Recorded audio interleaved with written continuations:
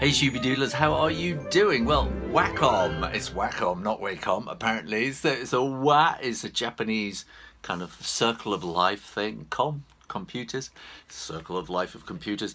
They have sent me an Intuos Creative Pen tablet. Now this is the, the cheaper hob hobbyist kind of version and it comes with two free creative software downloads. Uh, there's a choice. It comes with digital painting, photo editing, or comics and manga. So I won't do the photo editing because I use Photoshop for that. But I'm going to download the digital painting and the comics and manga and I'm going to try them out. But in the meantime, let's open the box and see what is inside. So here we have the box which is in this lovely ooh kind of soft vinyl finish. And let's open it up and it is pistachio flavour. Yum, yum, yum, yum, yum. So let us see what we have. We got a little tab here and we pull that out. Oh, and inside we got the pen, instructions, and a USB cable.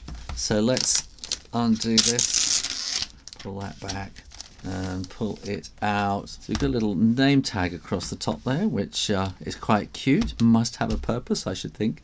Uh, let's see what else we got. We have got, oh, let's be gentle with this. Uh, we got the pen and that does it come out? Of its little plastic wrapper it does. And there's the pen. Let me compare that with the Intuos Pro which is a little bit bigger. Um, we have the same rocker switch on there so we've got a rocker switch. So we've got kind of two buttons and we have got oh that's good that's like connected on there so that if you're kind of traveling you can um, wrap it up nice and neat again. So that's a USB cable to fit in there, which is going to go, yep, there's the USB. That will fit into there.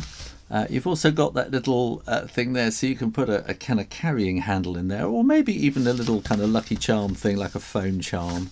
Now across the top here we have express keys and you can assign, assign these buttons um, to be anything you want. There can be multiple keystrokes any command on your computer you can assign to one of these buttons.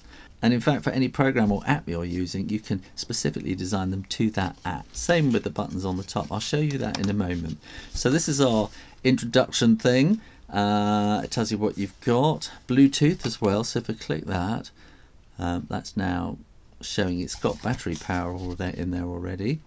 Um, so it will connect Bluetooth or it will connect USB and of course it will charge itself up while it's on USB so you don't have to be connected on the USB cable. I'll just turn that off.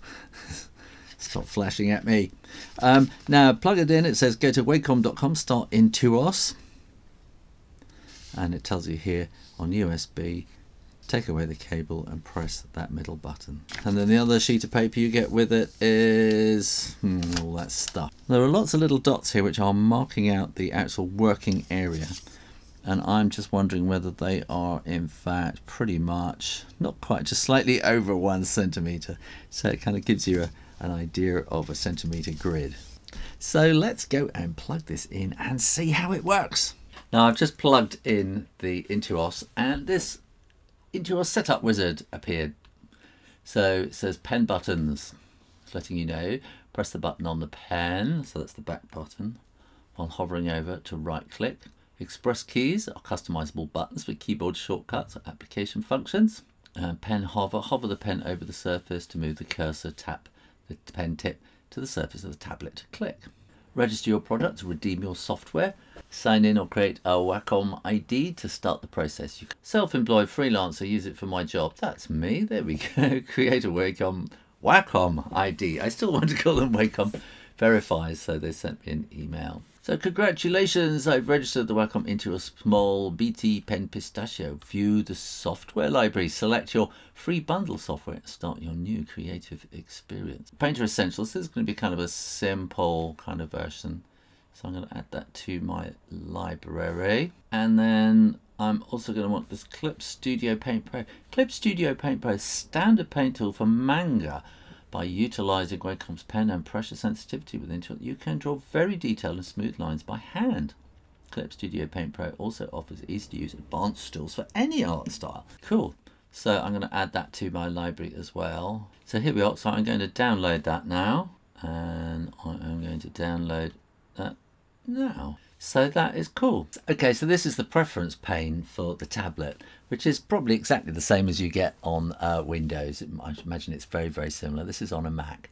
So we've got this little row across the top. So now I'm kind of assigning things to the tablet. And on the tablet, we have got uh, a little row of express keys across the top. Uh, and we've got two on this side and two on that side. And here um, we can assign any kind of keystroke or anything that we want to it. So at the moment, this button here, uh, if you press it, it will equal shift. Um, and then we got option, we got control and command there. So when I press that button, it will be the same as pressing the shift key. that one same as the option key. This one same as control, and this same as command. When you get different things, uh, you know, you get alt keys and things on Windows. With the pen, we can check out the uh, kind of the tip, the tip feel. So, so that's kind of feeling like I don't have to press too hard to get to the max. If I go to soft, that's really easy, hardly touching it, and that's maximum pressure. Firm, I have to press quite hard to get to the end, and there, that's sort of somewhere in the middle, of course. Uh, the tip double click distance, I can't feel any difference in that at all. Okay, so now these are the little keys on the pen. So the back one, if you click, is a right click.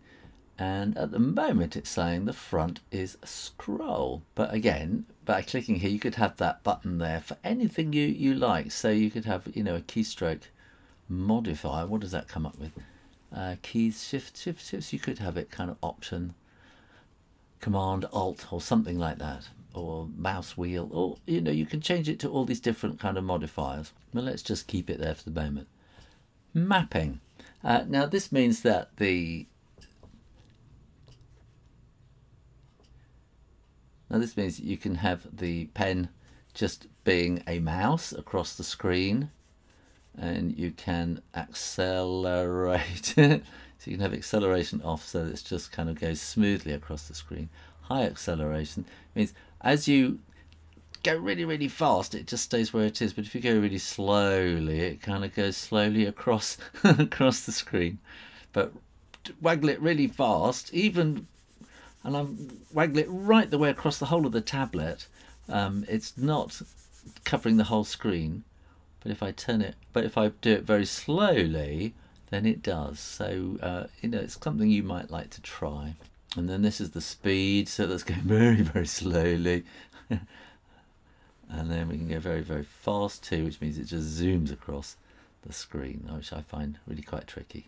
So let's go back to pen mode. I feel a lot happier in pen mode. Look if you go here and force the proportions then that means that the tablet is the same proportions as your screen. So if you draw a circle you will get a circle on the screen.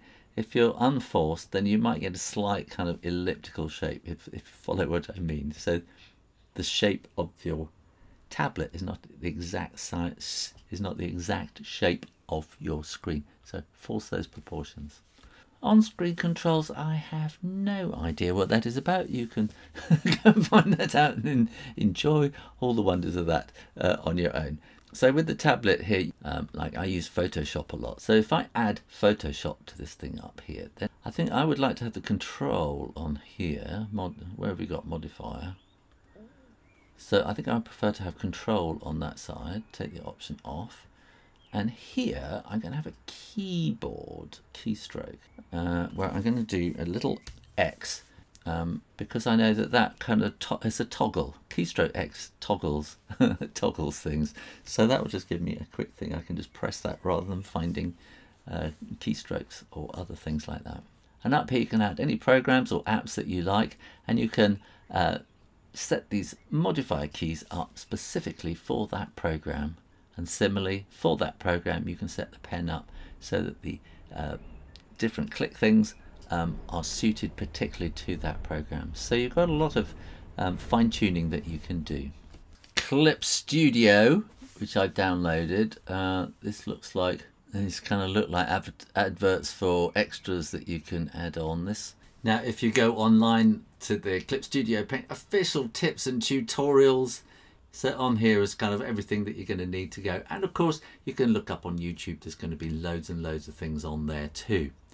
Now this is uh, Clip Studio Paint and you can see it's a, a, pretty massive kind of thing. There's an awful lot to learn here. I'm not really a digital artist. Um, I like to draw on paper mostly, but I do colour in on Photoshop. Let's draw with a pen. There we go. So this is a pencil. Um, and we could choose up here. Oh, pas pastels. What have we got? Crayon, chalks, things like that. Let's try something a bit, bit bigger. That's better um, and we can choose colors down here and um, all sorts of you know different brushes different sizes try a big one like that. And it looks like we can kind of do vector lines here as well. I'm not really quite sure. You are going to have so much fun learning what this is all about. Uh, we got kind of spray cans. What have we got on this thing? I have no idea. That's a kind of different patterns. What is that happening? I have no idea. there is so much here for you to learn. This is free and this is not amateur at all. This is um, really quite amazing. I have no idea what these things are for. Timeline, so that obviously means that you can do animations on here as well, I presume. Um, over here, just like Photoshop, we've got layers. Uh, you can add new layers so and you'll be able to do kind of transparency between layers and do all sorts of exciting things. If you want to get into digital art and painting this looks like an amazing program to get you started. And with the Intuos tablet pen you're going to have so much fun. Now I discovered something really really cool about, about now I discovered something really cool about the pen is if you unscrew it you can see can I focus on that? You get these three spare nibs sitting in the bottom there like that. Why would you need spare nibs? Well, I think, you know, if you are rubbing one thing against another for long enough, um, you will get abrasion and eventually this nib will kind of wear down a little bit. So if, if it does, when it does, you've got spare nibs in there. You can also get different uh, spare nibs. You can get some that feel like felt tips. You can get some which feel a bit more toothy, like a pencil uh, if you want to try those different kinds of nibs. But you have got those there just in case. So the Intuos, this one comes in this lovely pistachio. There's little Wacom thing across the top. I've worked out what that's for. Look, that's where the pen goes to keep it nice and safe when you're taking it around and traveling. These express keys across the top give you lots of extra control. It's very, very neat. And I think for a hobbyist or somebody starting out doing digital painting, this is everything you need to get you started. And it comes with all that great software too, um, which is really, really professional level software that you're getting there.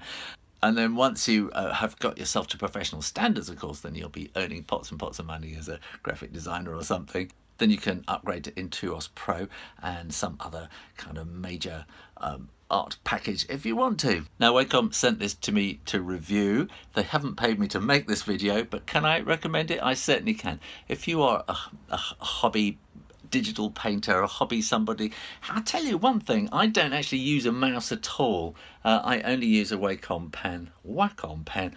When I used a mouse, I was clicking away all day and I found I was getting starting to get RSI and pains in my arm. As soon as I swapped over to using a Wacom pen, no problem at all. So that's a very good reason to use one.